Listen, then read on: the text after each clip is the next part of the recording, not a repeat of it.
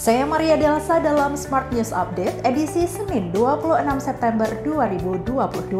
Smart Listeners, Presiden Joko Widodo mengungkapkan penyebab 90% startup atau perusahaan rintisan gagal saat merintis bisnisnya.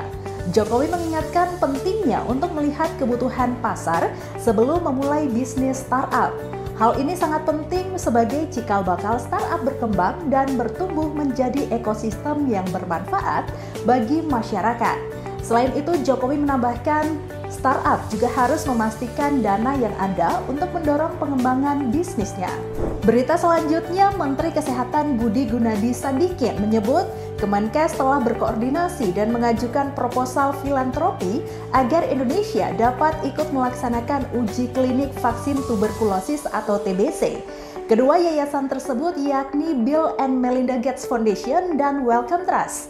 Bill and Melinda Gates Foundation dalam uji kliniknya juga melibatkan peran Badan Pengawas Obat Eropa dan Badan Kesehatan Dunia.